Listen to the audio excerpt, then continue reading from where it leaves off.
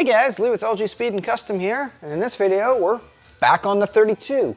My objective for this video is to focus on getting the car to start, because once it starts then we can, you know, it'll be like yard drivable basically. I can back it in and out of the shop. Not roadworthy, but good enough that we can move it around the parking lot and stuff, because pushing cars sucks. Some of the things that we gotta do to make that happen is we got rad hoses to put on. I just picked up some hoses from my pal Rick at the auto parts store. So we're gonna throw those on. Once the hoses are on, we can put coolant in this car. We've run a brand new fuel line from the tank to the firewall, but we gotta go from the firewall to the fuel pump. As well, we gotta change the fuel pump. Uh, for you regulars that have been watching this since the beginning, when I drove this car home and it kept dying on the highway, that's because the fuel pump couldn't keep up to the carburetor. So I got a new fuel pump to put on it that'll hopefully be able to keep up. We can put that on, run some fuel lines for that. We got to put a throttle pedal in it and figure out the throttle linkage. This car is, it's a little bit of a weird carburetor setup. This has a Mercury 4 bolt manifold on it that had like the teapot carburetors. And someone has put a Carter, or sorry, a Rochester 2G on it which I guess is a common upgrade on the, the 4-bolt Merc manifolds. And the Carter, or not the Carter, the Rochester 2G is, uh, you know, I, I, guess it's a, I've never had one before, so, but everyone says it's a, a superior carburetor. So it worked fine when it had fuel in it. So I think I'll probably leave it for now. I think eventually I'd like to go to maybe a two carb setup on this, but that'll be down the road. Right now, I just wanna make it run and drive. So we gotta figure out throttle linkage for that. Headers, we don't have any exhaust on this. We've talked about putting headers on this car in a lot of previous videos, but it's just, it, we haven't got to it. Passenger side is easy, it'll bolt right on. Driver's side, we gotta get a little creative with this chrome F1 steering box. Uh, aside from that, I think we just need to run some wires to the ignition or to the coil so that we got spark. And that should be it to make it fire up and move forward and backwards. We should probably put some oil in it. I think it still has oil in it, but I don't know how much oil is in it, so we'll probably just dump it and put some fresh stuff in. Same with the transmission in the rear end. We'll, we'll make sure that they got some fluid in them as well. So, on that note, let's get to it.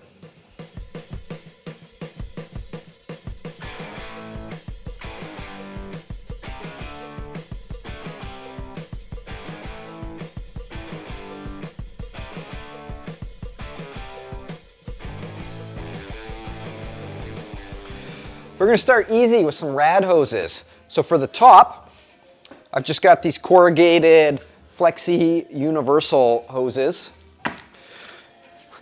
that'll fit like that.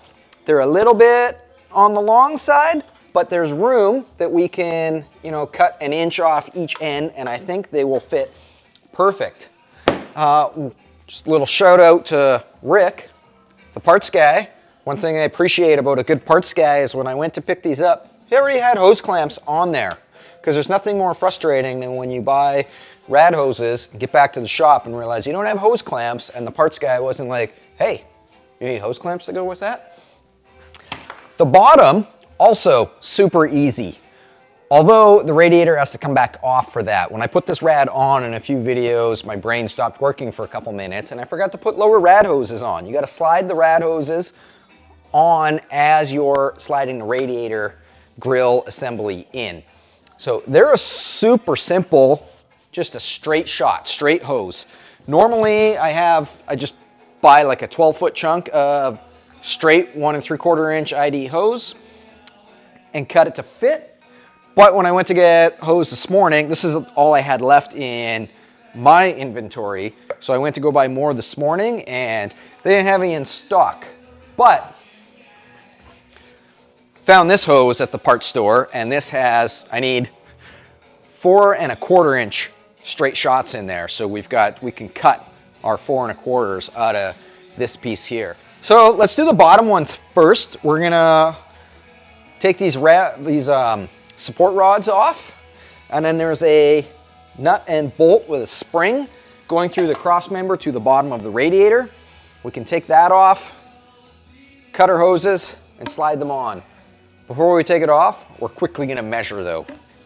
That way, we only have to do this once. I'm pretty sure when I measured this earlier, when I went to the parts store, I needed four and a quarter. That gives us four and a half if we're right up tight against here. We'll make it four and a quarter and then we got a little bit of wiggle room. At least on this side. Let's make sure this side says the same thing. And it does. So we'll cut this four and a quarter and four and a quarter. All right, measuring from the end. Let's make a mark at four and a quarter. And then we'll make another mark a little bit further back. Four and a quarter. That should be just over eight and a half. Correct it is.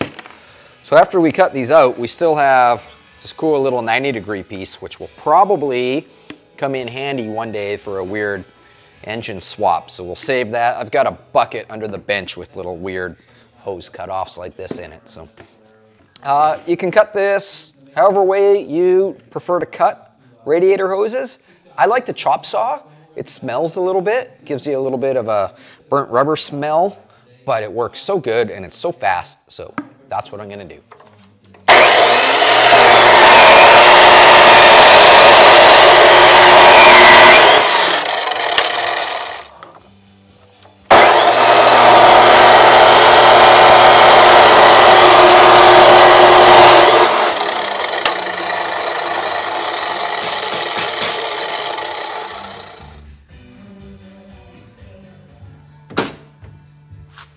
I've cheated a little bit and rather than taking the uh, radiator and grill assembly right off, I've just undone the top support rods and taken one bolt out and I was able to pivot it enough that we can slide this in. So I got my hose clamps on, ready to go. I'm gonna put just a little bit of grease in here just to make it slide together a little bit nicer. There's one side. And now we can slide. Yeah, there we go. Our bolt went back in, so we can put our nut back on and then go do that on the other side. Note that I've got the hose clamps situated so that I can get easy access to them. Like this one's not turned around facing inside, which would make it super awkward to work on. Yeah.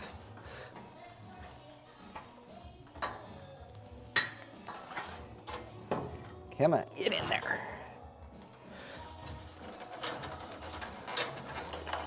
All right, the grill's bolted back on. Before I snugged it down, I took my tape measure over to the hood over here because I'm planning on running a full hood on this car. And I got measurements of from here to here, from here to here, and the bottom. I took those measurements off the hood. I then added 3 eighths of an inch to those measurements and set the grill and the radiator to those measurements with the idea, ah, oh, fender brace to the, to the back of the leg. So the idea is that when the hood goes on, in theory, I should have 3 16ths gaps on both sides. In the real world, it's probably gonna be way out. 32 Ford four-piece hoods take hours upon hours upon hours to, if you want them perfect. I don't care about perfect. I just want a hood. So I don't know. That, that's a whole nother project for another day. This hood's pretty, pretty rough. But we're in the ballpark at least. So that's where I snugged it down. I'm gonna tighten these hose clamps up on the bottom. And then we can move on to our top hoses and our radiator should be ready to radiate.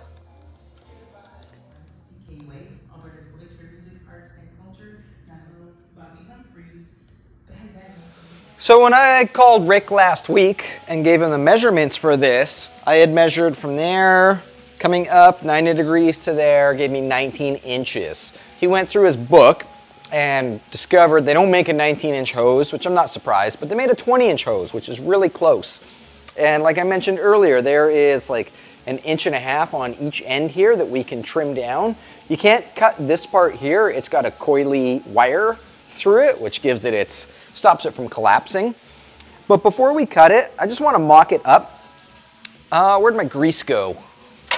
Put a little bit of grease on here. Yeah, I just wanna mock it up and see what it looks like. A 20 inch hose might be fine as long as it doesn't look awkward or weird, like should be okay.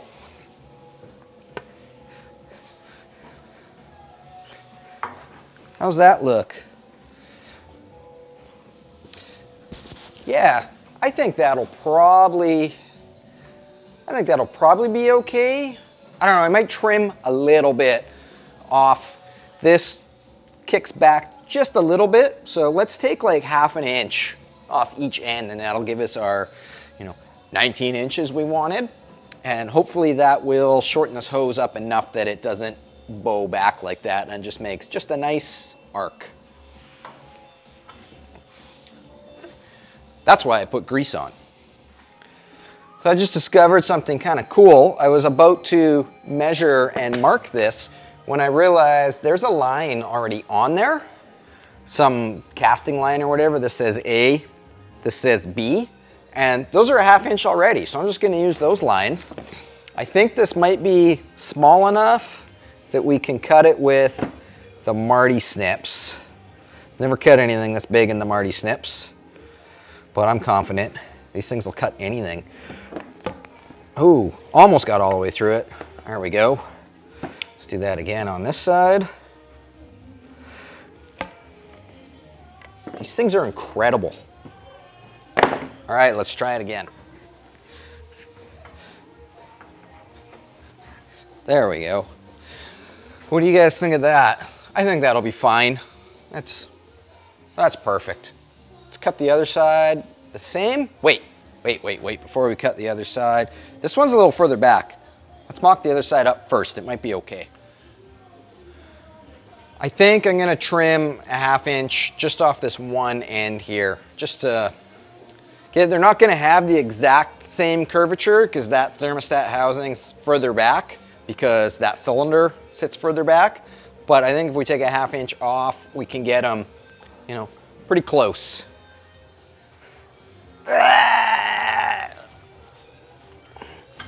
Ooh, that one was tight, even with the grease.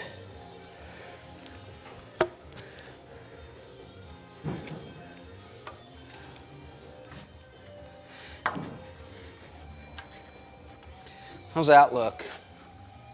Yeah, close enough, I think. It'll be fine. I'm gonna put some hose clamps on it. That's done.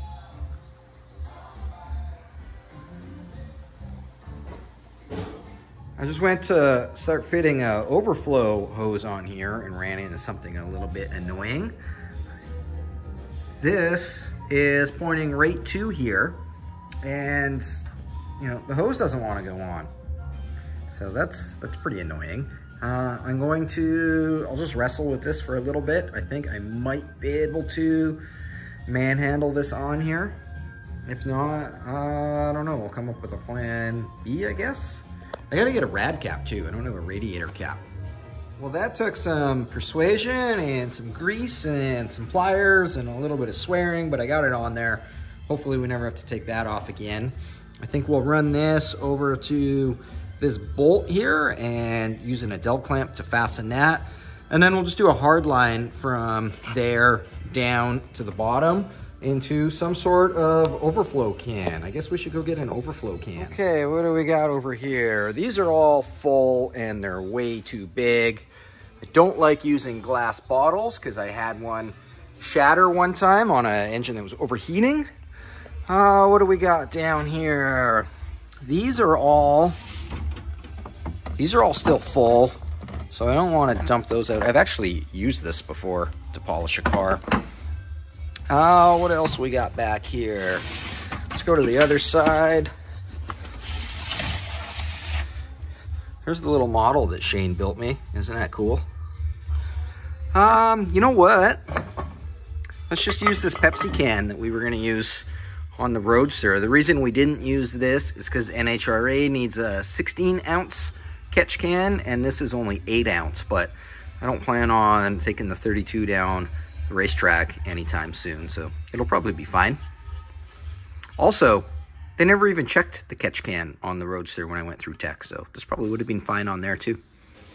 So we'll probably mount it right in there and use this bolt holding the grill on, just like we did on the Roadster. I found a aluminum piece of aluminum scrap that is already bent 90 degrees like that, pretty thick. So I think I will cut this end down, drill a hole in there that goes into, I guess it would sit this way. So the radiator bolt goes through that way. Then this end, we're gonna curve to the same shape as the can so it hugs it. Put a little slot in there that a hose clamp will slide through and that will hold it in like that.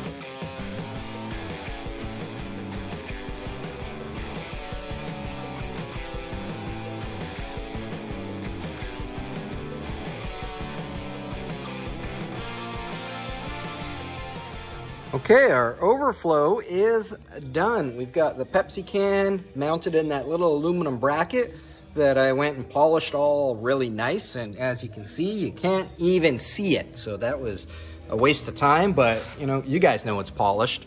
From there, we just mounted, put a little Adel clamp on this grill bolt hole that holds our hose in. And then I've just got some 5 16 copper nickel tubing running down with a little kick out to line up with here. I clocked the can so that the, the less faded side was exposed to the outside. So yeah, I think that's done. We still need a rad cap and I think we can put water in it.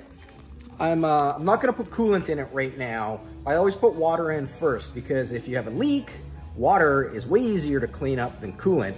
So I always fill them up with water first and if everything's good, then I'll drain it and fill it up with coolant.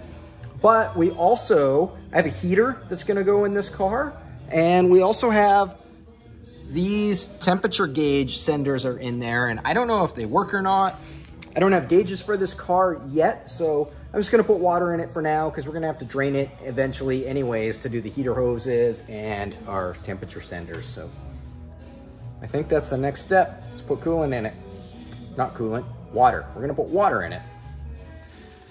All right, it's Six days later, we're back on the 32. I was just about to fill the radiator.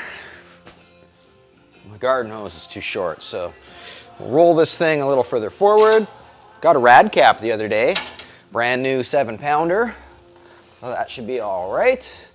Flatheads usually run seven pound caps, although you can put bigger one. My Roadster's got a 13 pound on it, but because I don't know the condition of this engine, I don't want to put a 13 pound on there and then you know, blow the head gaskets or something out. I don't even know if that would happen, but I got a seven pounder. All right, I'm gonna run out there and turn the hose on. And hopefully this doesn't spew out everywhere. It probably will. We got water coming out yet? I just turned it on a little bit because I didn't want it to come gushing, but maybe I didn't turn it on enough. What's the deal, man? Where's my water? Stand by. All right, there we go. All right, let's fill this up. While it's filling up, we'll just check for leaks. So far, so good.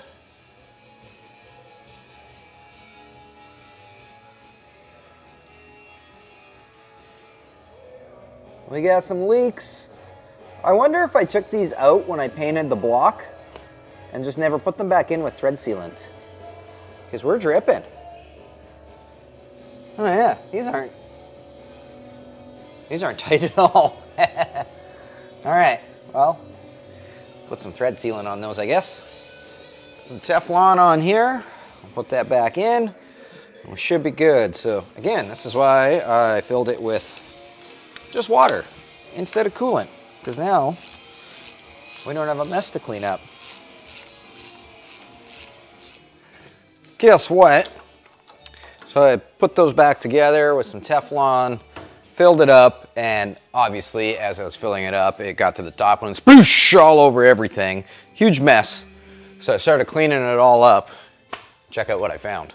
Mm-hmm. Mm-hmm. You see that? That's a crack. It's cracked there. And this one is also cracked, although this one is not leaking at the moment. So that sucks. Gonna have to pull this head off, I guess, and get one that's not cracked. I don't have any stock 8BA heads, but my friend Terry Stenberg, he's probably got 20 or 30 of them. So I should be able to get one off of him. I traded him some hubcaps a while ago, so maybe maybe I can get a cylinder head in trade for the hubcaps I gave him. Bummer, I didn't want to pull this engine apart because that opens a whole bunch of, a whole new can of worms. And I was kind of going for the ignorance is bliss thing on this engine. I don't open it up and then I don't know what kind of problems it has. So I don't know, maybe we can just pull this head off and we'll not look at anything in there and we'll just put another head on put it on and go together, or put it back together. Oh well, there's nothing we can do about it right now, so we'll just move on to the next thing on the list towards getting it to start.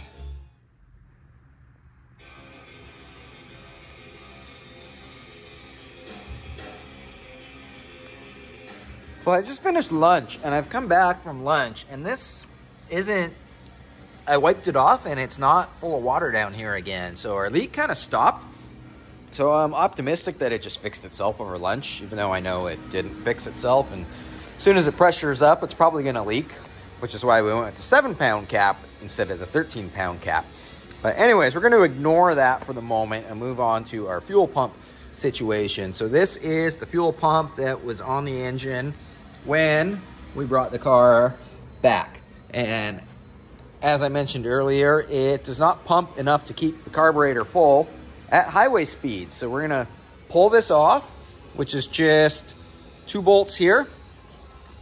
Well, we got two bolts here to get it off the stand and then, but I think it's easier to take the stand right off the intake because there's a push rod that pokes up from there and then swap the stand over on the bench. So I'm gonna grab a 5 16 socket, or sorry, a half inch socket and take these two 5 16 nuts off Obviously our fuel lines are already disconnected, so we just gotta spook, pull it up.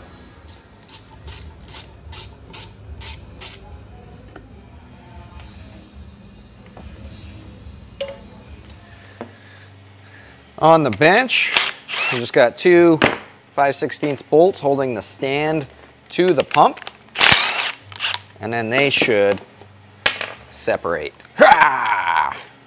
Just like that. So here's our new pump. This is a Offenhauser pump. Now these fuel pumps, these flathead fuel pumps, I used to be able to get them locally through my normal parts store, but they don't have them anymore. So I've only been able to get them through Rock Auto or Speedway. So Rock Auto, Speedway, Offenhauser brand, Carter brand, the last four new fuel pumps I've come across, the little push rod piece right here is being mangled on all of them, every single one. This is what it's supposed to look like. It sits firm on there, nice and snug. This is just a piece of garbage. And you can send it back, but the one that they're gonna send you is the same thing. So I don't know what to do about that other than just fix it when we get the fuel pumps and put them back on. So it's not a huge deal. You just gotta like kind of slide this into place, which doesn't wanna slide right now. There we go. And then just put a little tack weld on right there just to kind of stop it from flopping around. What this piece does is attaches the fuel pump to the push rod and it holds it in place. So it's just kind of like a guide. Uh, aside from that, I've got a couple new fittings because the fittings that are in this pump are, that's not a fuel fitting, that's just a random piece of copper pipe that somebody, or brass pipe that somebody threw in there. Probably works, but these are a little bit better. So these early Ford fuel pumps and Stromberg and Holley 94 carburetors, they have a unique thread. You're not gonna find a fitting like this at your regular hardware store. So when I ordered this, I got this from Speedway, I made sure to order some new fittings for this as well. I forget what, I can't remember what the thread is exactly off the top of my head right now, but it's a specific thread.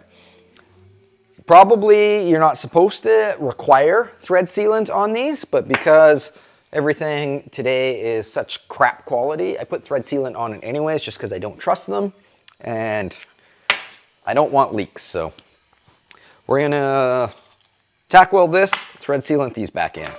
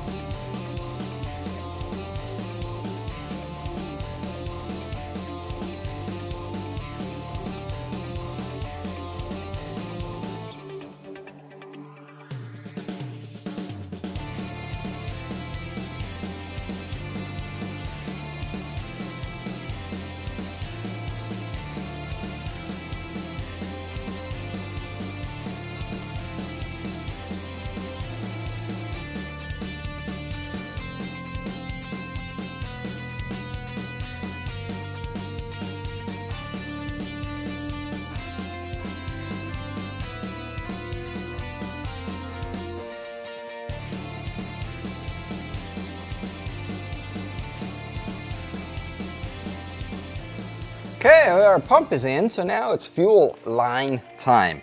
So the fuel line from the tank ends here. My plan was to run a fuel filter and then a little piece of hard line that I'd bent up to sit nice on the firewall like that, and then that would go into the fuel pump. So this I've made twice now, and I'm still not totally stoked on it, so you know what? We're not gonna do the hard line. Screw it, we're just gonna go from there to there, it's like a foot and a half. It'll be fine. It won't pass NHRA spec, but whatever. This car probably, I don't have any plans of racing this car anyways. So fuel filter. I'm gonna use this glass fuel filter. And I know instantly, as before I even finish this sentence, you guys are gonna be in the comments saying like, glass fuel filters are the worst. Well, maybe, I don't know. I've never had any issues with them and I've been using them for years and years and years. In fact, this one was in the Roadster for 13 years and I just pulled it out recently because when we took that to the drag strip, NHRA won't let a glass fuel filter through tech, so we had to put a steel one in, but this filter is still perfectly fine. The thing I like about these filters is one, they're see-through, so you can see what's inside of there. You can see if your filter's actually plugged up or not, if it's time to be changed. With a steel fuel filter, you can't. You just guess. I don't know if it's plugged or not. I don't know what's in there. Maybe it's fine. The other thing I like about these ones is, well, not right this exact second, but they unscrew and you can unscrew it and take the element out and clean it. And I really like that as well. So I'm gonna run it. Like I said, I've never ever had an issue and I don't personally know anybody that has. So I don't know. And you know what? Hot rods are supposed to be dangerous anyways, right? That's what the movies told me. So we're gonna run this right down here. Then we'll do a little hose from there up to there. I just got back from the store. I got some fresh clamps because remember when we were doing the line over there on a few videos back, I ran out of clamps. Well, I finally got clamps. And yeah, let's make it happen.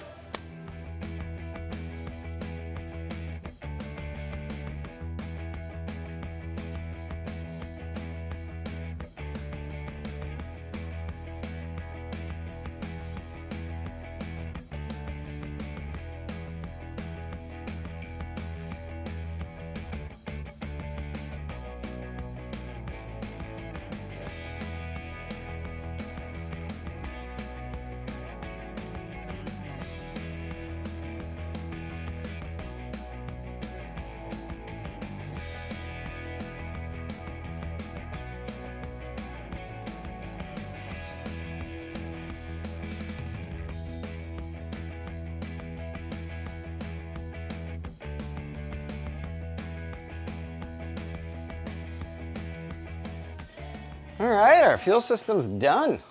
Cool. Well, not totally done. We still got to put gas in it. But other than the gas, the fuel system should be done. So I don't know what to move on to next. Throttle linkage maybe? Headers maybe? I don't know. It'll have to be tomorrow. I ran out of time for today. But um, we'll get into it first thing in the morning. One thing I forgot to mention with the fuel system is I like to use these style hose clamps. These are like fuel injection style, which I know aren't pretty correct, but these ones don't strip. You can just crank them down and they come apart and they don't break and ruin your life. They're great. See you in the morning. All right, we're gonna we're gonna do the headers. We're finally gonna do the headers. I've been talking about doing the headers for like the last what four or five videos, and it just never happened. So it's it's happening. Here we go. Like I mentioned earlier, these are Flowtech headers that I got from Holley Performance. A couple months back, they were having a huge inventory blowout, and these headers went from like $400 a pair to $61 a pair. So thanks, uh, thanks to Bruce who gave me the tip on those so that I could grab a set. I was reluctant to buy headers for this car because this is an unknown engine and I don't want to put a set of $400 headers on an engine that turns out to be a turd. So, but for 61 bucks, you know, I'll take a gamble. And they're chrome, so a couple more horsepower there. These are inch and three quarter. Passenger side, this one here, fits, no problem at all. I've got these reducers, I guess they're reducers, expanders, I guess it depends which way you look at it. These go from inch and three quarter to two inch. Why am I using two inch or going up to two inch rather than just run inch and three quarter? Uh, because the stainless tubing that I make my exhaust systems out of, I have in two inch. I don't have any inch and three quarter. It does exist, but I'd have to go and buy some. And I've already bought two inch, so I'm gonna use what I already have. On the end of here, we're gonna put a V-band clamp. Let me go grab a V-band clamp here, and I'll show you what they're all about. Much like our Fuel injection hose clamps, they are, they're not a period correct piece, but they work really, really good, and I really like them. I think these uh, came from the, the import, the tuner world. So you've got your clamp, and we've got two fittings. These guys weld perfect on there. Look how nice that fits. It's, it's a beautiful thing. So you weld one end to here, like so, and then you weld the other end, like so. They click together, see how they just like, boom, there's a little machined lip, kind of like a tongue and groove kind of thing. So those click together, and then your band goes over top and squeezes them tight. Nice tight machine finish. Once you start the car and this all gets hot and it expands, it's an even tighter finish. The cool thing with these is you can take them apart and put them back together a hundred times and never need a gasket. They just go together perfect every time. Which for a unknown engine that we're putting in here, there is a very good chance that we might be yanking this engine out in the near future. So that will just make everything so much nicer. That doesn't go in there. That goes in there. Driver side header, we got to modify. It's notched out for a steering box. I don't know what steering box, but not our steering box. So we're going to have to get a little creative in there. Yes, we're going to damage the chrome. Sucks, but it doesn't matter because these were only $61. You know, we'll blow a little barbecue paint in there and nobody will ever know anyways, so. All right, uh, let's do the hard one first. Let's do this one. I don't know what we got to modify in there yet, but we'll mock it up and see. On the subject of modifying headers, I put a video up recently of doing the headers on Aaron's truck. They are back from ceramic coating now. And look at that. It is perfect. You can't even tell. Cut and extended these headers. And then coming out of the headers, we've got our two inch stainless that we were just talking about. Two inch stainless straight pipes that run all the way back with a V-band clamp in the middle so that you can, if you got to pull the rear end or something out, you can just undo those clamps and take the rear tail pipes off.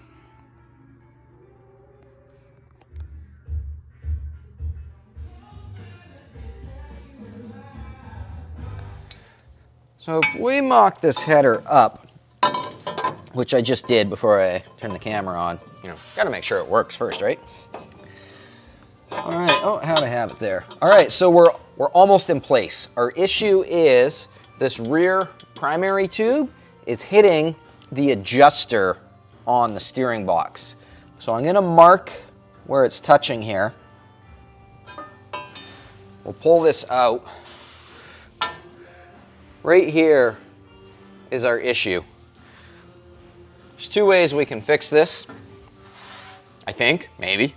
Both ways might not actually work.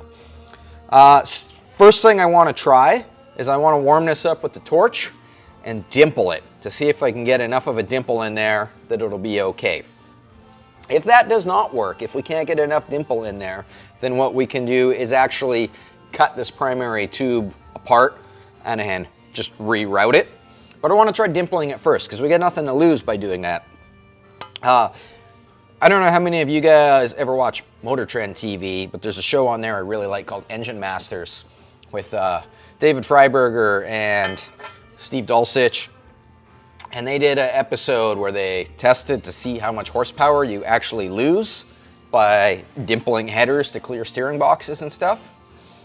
You don't lose any. It didn't change anything on the dyno. In fact, they took a set of headers at the end of the episode and just mutilated them, destroyed them with sledgehammers, and didn't make any difference for power. Not that I'm concerned about that. This is a stock flathead. When it was new, it made 100 horsepower. It's like 70 years old now, so it maybe makes 75 horsepower. Not worried about performance right now. We'll uh, take this over to the bench and warm it up. I've switched out the rosebud tip for this little welding tip just to make it a little more controlled. Hopefully we've got enough gas left in the torch. It is almost empty right now. Oop.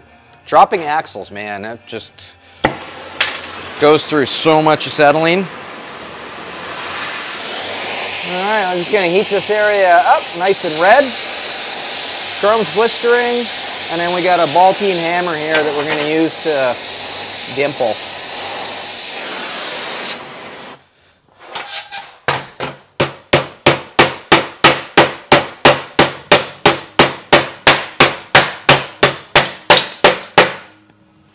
I don't know, let's try that. I don't know if that'll be enough or not, but we'll give it a try and see. Look at all those pretty colors. See what happens. I blew it off with some compressed air to cool it down. I prefer that over water because it's not as messy.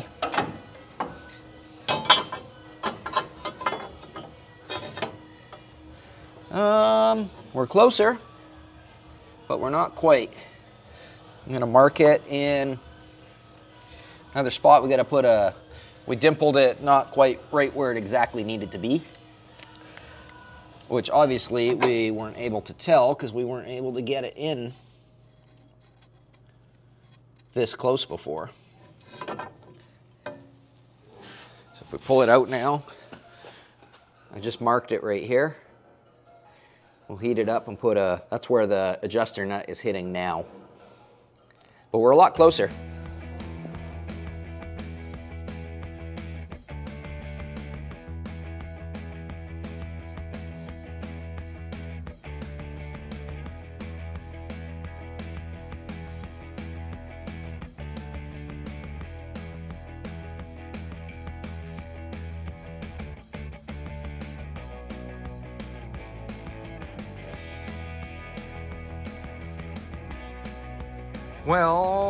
Don't think this is gonna work. We've got enough clearance around the, the adjuster nut now, but as you can see, we still need to go up like another half an inch. And this second primary tube down here where my finger is, this whole area here is starting to run into the bottom of the steering box. Like it can't go up anymore. So I think what we're gonna have to do is cut it off here where my finger is and cut it off there. We'll bolt the header on and then just kind of make up some new pieces to go in there. It was worth a try though. There was nothing to lose. It only took a few minutes, so we'll just cut it off. So I'm gonna start by cutting it right here and just completely remove that section. We'll bolt this on and go from there. I've got a box of J-bends down here left over from when we built the Arden headers, but I just realized these are inch and 5 eighths, not inch and 3 quarters. So that's not gonna work. Just called the Auto Parts Store. And they've got one one and three quarter inch J-bend in stock. The next closest one is in Edmonton, which would be about a week away. I don't know if we can build that with one or not, but we'll I, I mean, we'll start on it. We just might not be able to get it finished, but we'll try our best. We'll start by cutting, and I don't know, we might be able to, I've got flanges already made, so we might not even just use this flange anymore. We'll just use a brand new one. Then we don't have to worry about dissecting any of that. I think, I don't know. We're just winging it right now.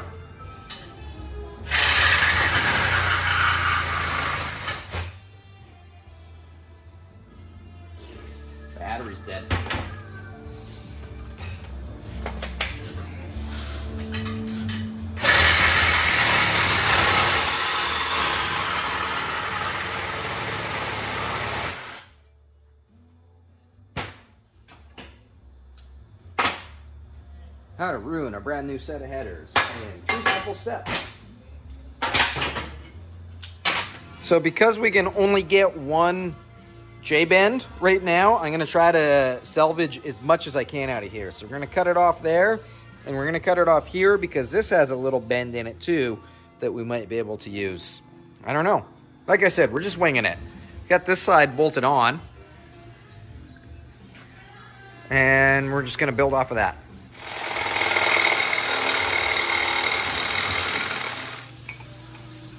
So I've taken a couple scrap pieces that I had. And we can go straight off of straight off of here and then kick out over here and run down right behind the steering box. I don't know if you can see that or not, but we've got equal distance between the steering column tube and the wishbone. And we should be far enough away from the clutch pedal that that shouldn't be an issue. So that will solve our routing. And then from there, if we can take our J-bend and hopefully come like 90 degrees out of this port and straight down into there, I think will work. I'm going to tack this up. And then we'll just have to wait until it's almost 12 o'clock now and our J-bend, they figured they would have, they had to bring it from another store. They figured they'd have it for 12.30. So maybe I'll tack this up, we'll have lunch and then go pick up the J-bend. So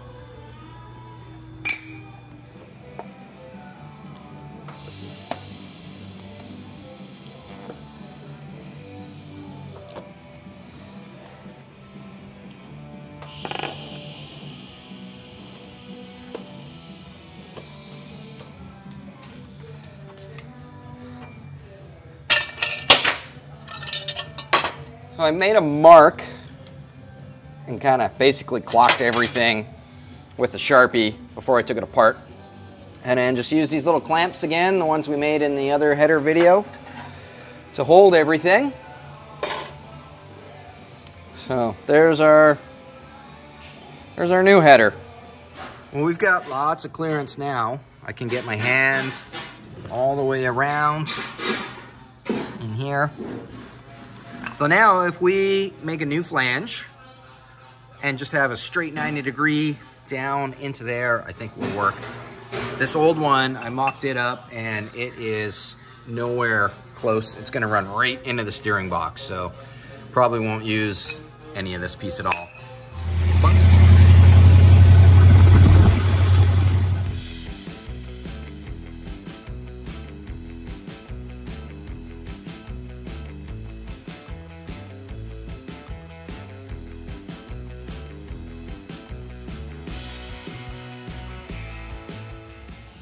Good news, bad news, good news. Good news, great day to go for a Roadster drive.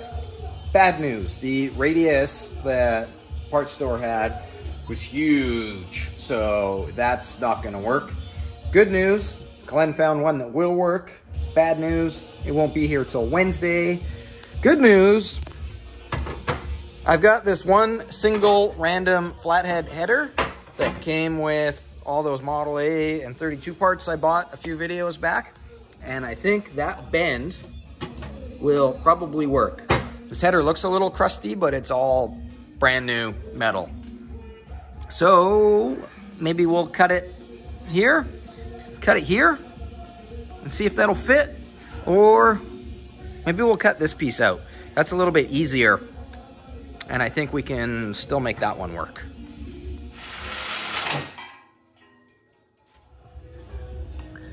Right, I think this is gonna work. Let's get a flange and then we'll start whittling the bottom this end down. We'll start whittling it down to fit over that radius. I thought I had flanges cut out, but apparently not. So we'll just cut out a new one here real quick.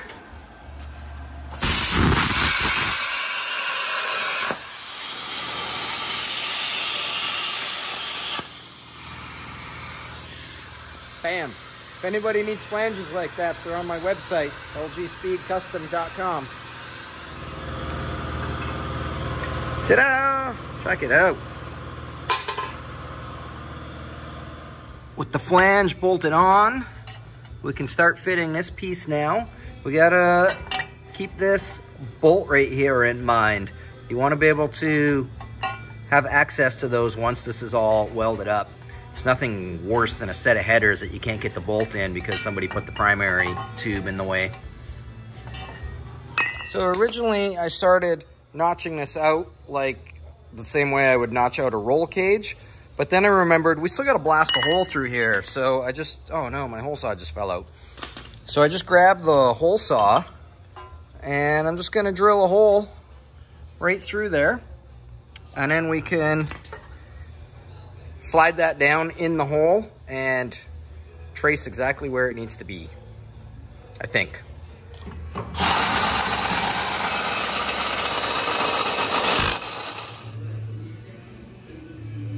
Look at that, that fits great. We've got good clearance through here. I can get my fingers through there. We can still get our nut and bolt in.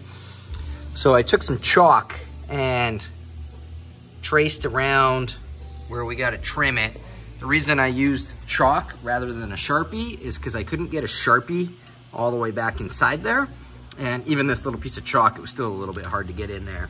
So if we pull this out now, here, ah, there's our marks where we're gonna trim. We're probably, we'll probably leave like a quarter inch on the outside of that chalk mark, just so that we, we don't wanna be too shy when we go in there. We need some, little bit of meat to wiggle around and weld. So I'm gonna trim this up now. I'll probably just use a little carbide bit and then we can tack it up in there, pull the whole thing out and weld it up.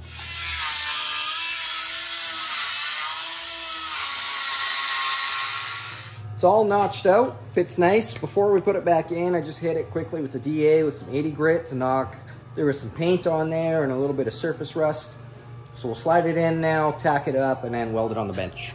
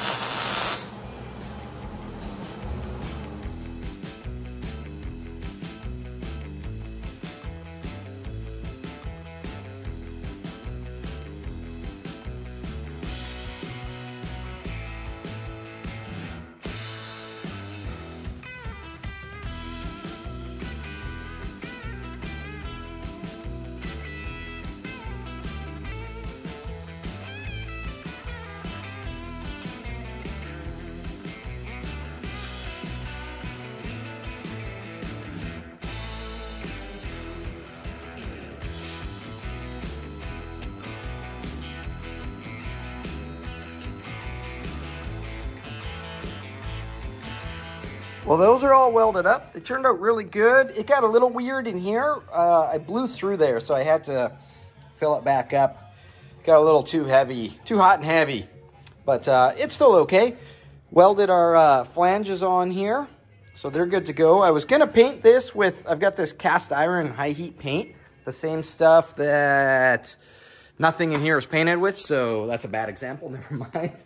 Uh, but yeah, I was going to blow it in with this cast iron gray header paint, but I don't have any. I thought I did. I can't find it, so I must not have any. It's the end of the day anyways, so I'll just hit Canadian Tire and grab a can and we'll paint it tomorrow. And then we can put them on and then the headers are done. All right, it's the next day. I went over to see Rick this morning and got some cast iron header paint. I really like this stuff. It's got a really nice color to it and it holds up well. So we're just gonna just paint this area. I know it's not gonna match, but it's gonna be fine.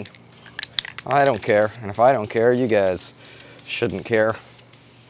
It's all gonna be hidden behind the steering box anyways.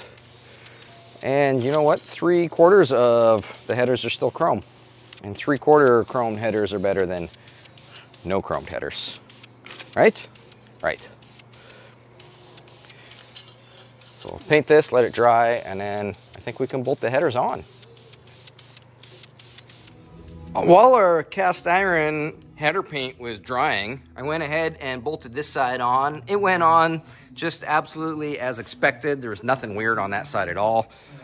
Now that this is dry, we can bolt it on. All right, there we go. We got a header. Not too bad. So off of here, we can run the rest of our exhaust system. Well, at the beginning of this video, I said I wanted to focus on making it yard drive, and I was hoping to have that done by the end of the video, but unfortunately we just ran out of time. But we're this much closer. We've got our coolant system pretty much done. I think we're gonna have to change this head, but we're just gonna ignore that problem for right now. Uh, we got our fuel system finished up. We just gotta put gas in it. And we've got our headers modified and installed on the car.